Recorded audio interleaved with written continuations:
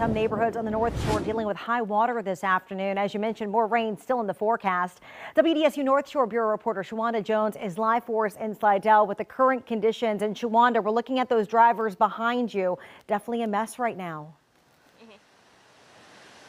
Yeah, Randy, I'm at the intersection of 9th and Gause Boulevard here in Slidell, and you just missed it. A BMW was actually stalled right here under inches of water a while ago. The wrecker came and put it on and then took it away. But I want everybody to remember that these flood waters, that they are going to rise very quickly. It only takes a couple of inches to stall out a car. So regardless if you're in a low-lying car, just like this red Corvette, coming through, or if you're in a big F-1 50 truck, then you still need to be able to make sure that you're able to understand where these flood waters are and where that they're possibly going to be. So we're going to stay on this. We're going to make sure that we keep you weather alert to make sure that you know the areas that you need to stay away from. Reporting live in Slidell, I'm Shawanda Jones, WDSU News.